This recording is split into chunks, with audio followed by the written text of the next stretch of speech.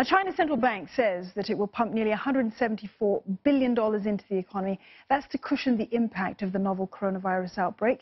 And this is part of a slew of stimulus measures that are being taken by Chinese regulators. To further ease the market pain being felt, the central bank has cut key interest rates by 2.4%. Now, the goal is to lower the borrowing costs of the newly injected funds is the first move of its kind in China. And analysts are saying that this signals the bank's aims to amp up liquidity in the markets and to steady the currency as well. And more aggressive measures, they are coming up as well. China's securities watchdog has called for the extension of debt maturity dates. Why? Well, to help companies impacted by travel restrictions and business closures. Financial institutions were also urged to increase lending to the entire economy.